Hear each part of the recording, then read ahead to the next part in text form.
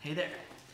So to train the short foot drill, which is an exercise focusing on your midfoot uh, mobility, strength, and control, you're gonna set up in either a seated or a standing position, probably easier to start uh, seated. And then you just take a second to splay the toes out wide. You're just thinking of trying to open up the bottom of your foot um, as much as possible to start. And you'll notice when Hannah does that and she's relaxed into it, the arch has sort of dropped down, okay? And that's where we want to start from and then return to at the end of the exercise. The actual exercise and contraction is going to be feeling like you're pulling the floor towards your heel with your forefoot. And the result will be that the arch picks up and the whole foot shortens just a bit. Thus the name of the exercise. And then you'd relax, let that bottom of your foot open up, and then uh, begin again and really try to pull the floor forward. Okay, now a few notes.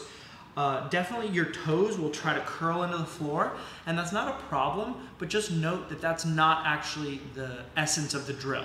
The main part of the drill should be happening through that midfoot, through the contraction you feel in your arch. Um, and while we're talking about sensations, another point that's important to, to keep in mind is that the muscles that actually create this motion um, are in your lower leg compartment as well as your foot. So if you're feeling a lot of activity up here, also a good sign, nothing to be concerned about. The last thing I always want to mention is that um, midfoot mobility is very different from person to person. So it might be uh, a movement that almost looks, um, you know, like microscopic for you, very small. But if you're feeling the contraction that we're after in the arch and in the lower leg, then that's the right place to start and you can expect that that will, uh, that capacity will grow over time and through repetition.